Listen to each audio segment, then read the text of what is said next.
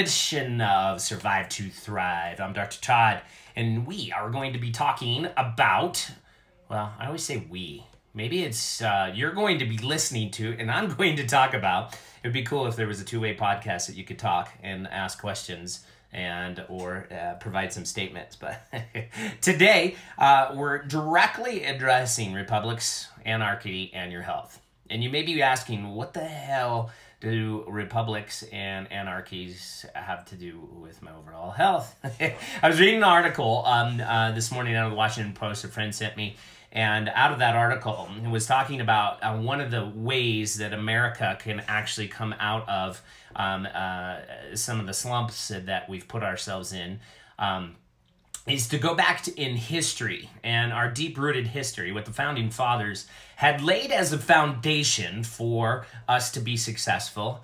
And um, not really arguable, but some people would argue that we have the greatest republic ever beyond Rome. Beyond Rome. Now, Rome um, did fall, eventually fell.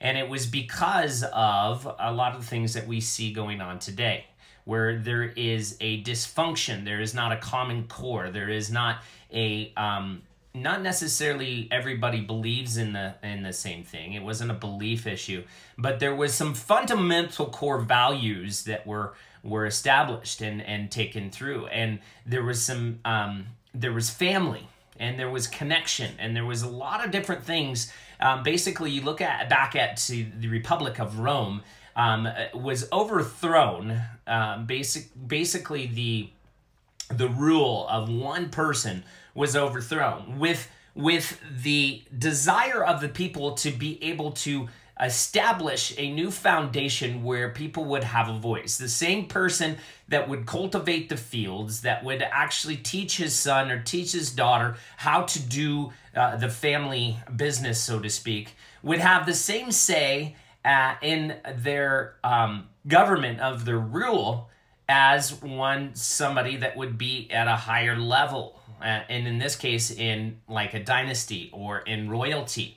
And so our founding fathers did the same thing. They looked at uh, uh basically a rule um, a monarch of just basically one person and said like look we're not going to be beholden to the king because we have these values that resonate with what rome did we want to facilitate people's ability to engage and have a say in how they are governed and so they laid this foundation. Our founding fathers laid the foundation, and the Romans took over and laid this foundation to be able to create the two greatest republics ever in their history. And in our history, we can find a lot of wisdom in this.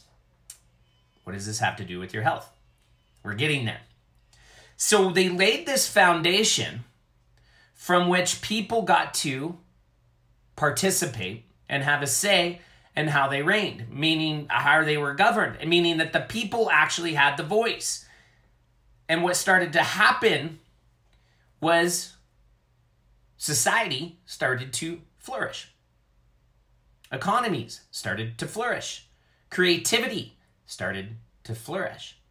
And in contrast, France, at the same time as a little bit earlier, but at the same time, close uh, as far as uh, go back a couple hundred years before the American Revolution, France looked at it and said, We just want to kill everything everything that we knew to be true as far as the reign of the king and queen and all these types of things, we just want to get rid of it. And so the people overthrew the government, but had nothing to put in place. They overthrew the government, if you will, or the reign. It wasn't uh, so much government as we know it today, but a ruling king and queen overthrew, and anarchy started to ensue. France went through some of the most tumultuous times that you could ever imagine, where the people didn't know what side to be on because the whatever side they would choose could be turned in an instant by another group of people. And so you had people just murdering people for no reason, groups trying to overthrow other groups, and it was complete anarchy. And from anarchy stepped Napoleon, who just became another ruler. And so in history, we can learn this difference. Okay, we can learn the difference between people that actually overthrew the government to be able to put a foundational new approach in, which Rome did. It was about 500 BC.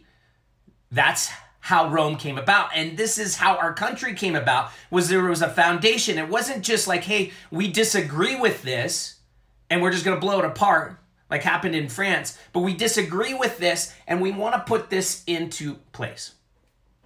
And so we built the foundation. We built the foundation from which to grow from. We built a foundation based on principles, on values, based on beliefs that we knew to be true, that worked in Roman times. And see, here's where I'm going with this. Your health often is looked at as like the anarchy. Like, I just want to get rid of everything. This is your antibiotic. So you wake up and you have cold, and, and um, this is the time of year everybody gets sick. Congestion and cold and indigestion stuff, and all these things start to rain down. And what do we do? We overthrow our bodies with antibiotics just to wipe everything out and then sit there not knowing what else to do meaning that we don't put any foundation. We don't have any values of what we're trying to go with our bodies. We don't have any foundation of or values of what we believe to be true of how our body heals because we're not asking these questions. And anarchy starts to ensue meaning that another infection is going to uh, take hold meaning that your body is going to feel like shit. Your energy is going to be down. Your body's ability to heal and fight off other infections becomes low. And disease starts to settle in. Just like disease started to settle in France. So, what I'd have you consider today is if you are going to go anarchy on your next crash diet, on your next sickness, on your next low energy, we do this. We wake up and get through a day and realize that at about three o'clock we don't have the energy to sustain. So what do you do? Anarchy. We're just gonna pour gasoline down our throats just to fuel that fire, just to get through the day.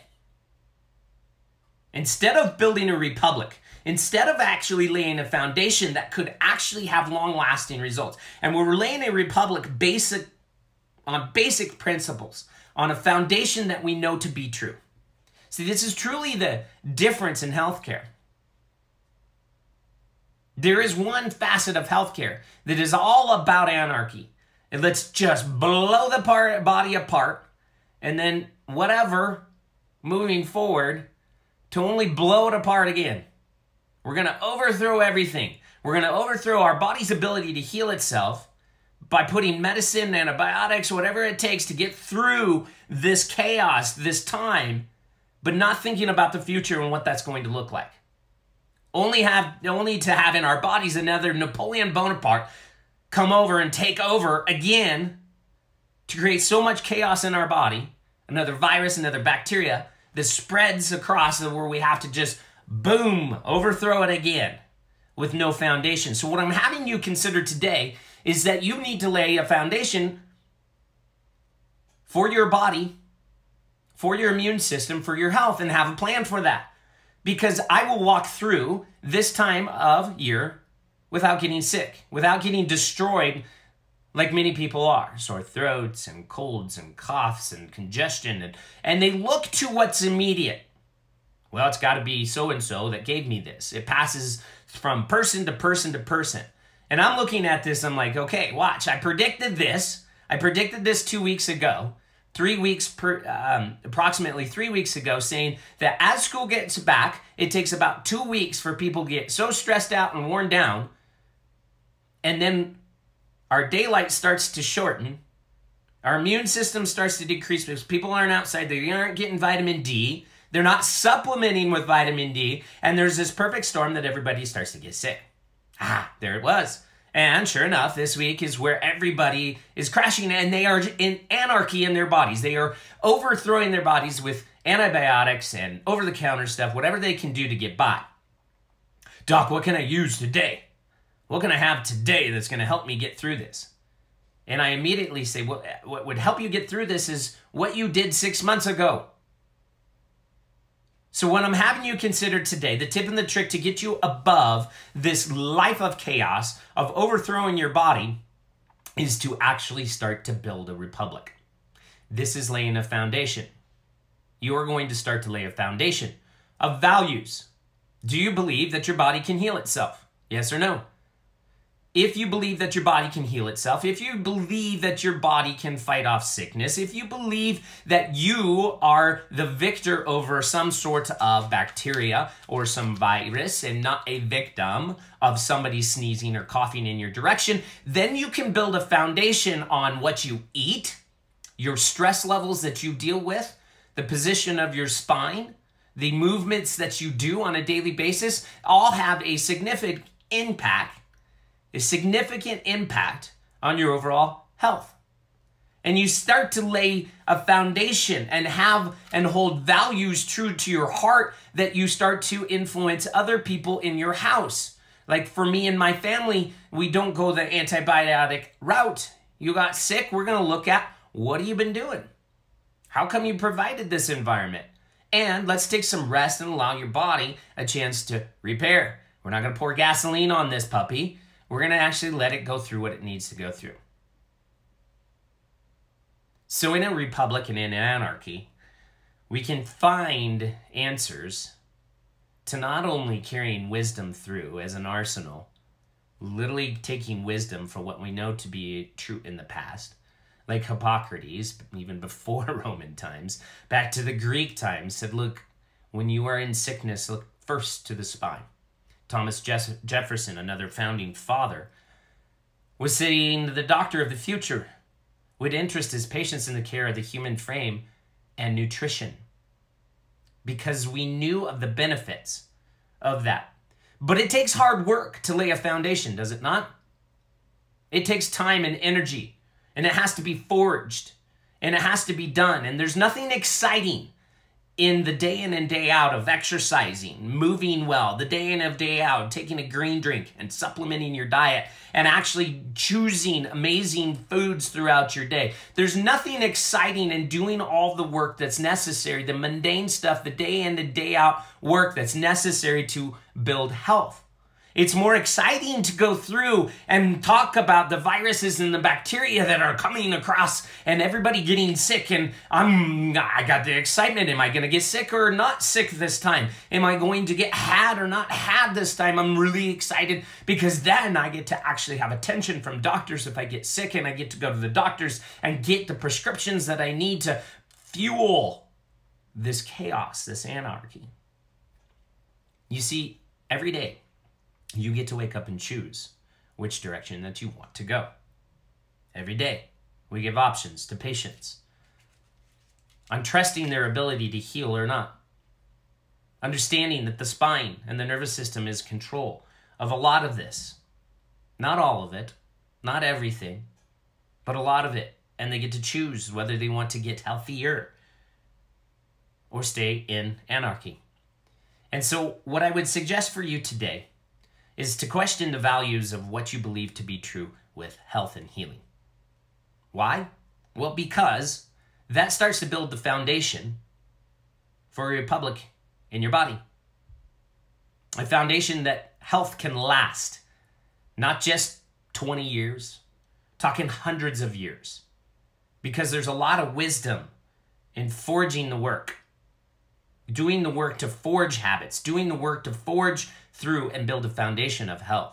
Your sickness did not happen overnight, nor will your, will your health. Your sickness did not happen overnight, nor will your health. Your health has to be built. So you choose today to start doing the things habitually to build the republic in your body so that when the opportunity for sickness comes around, you don't have to participate.